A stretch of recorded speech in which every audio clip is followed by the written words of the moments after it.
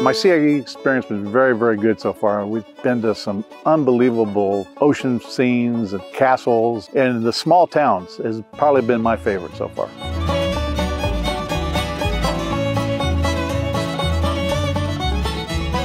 I would say the Cross Keys Inn was uh, that was wonderful. We were lucky enough to sit in the room where the musicians were playing.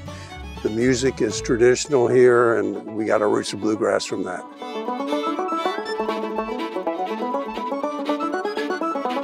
I would definitely recommend a tour like this. Anybody who wants to see Ireland, you're gonna you're gonna learn so much about the history that you could never do on your own.